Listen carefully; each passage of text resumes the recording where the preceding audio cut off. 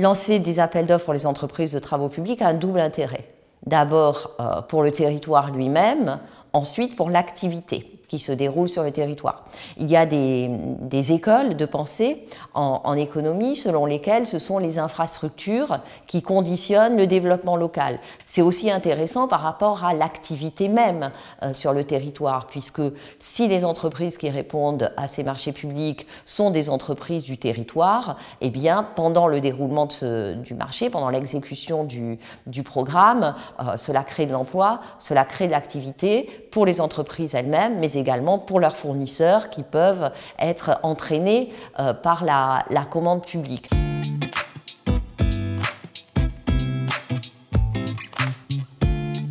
Ce sont aux, acheteurs publics qui vont définir les termes des marchés qu'il revient de déterminer si le tournant de la transition écologique qui a été annoncé euh, ou euh, l'amélioration de la couverture numérique des territoires sera euh, réalisé. Si l'on favorise les réseaux de trains, ou euh, les transports collectifs euh, avec euh, des bus en site propre, bien entendu, la transition écologique sera favorisée. En revanche, si c'est pour augmenter le réseau autoroutier, on s'inscrit moins dans la transition écologique. Donc c'est plus la nature des, des, infrastructures publiques que les infrastructures en tant que telles qui vont servir ou pas la transition écologique et numérique.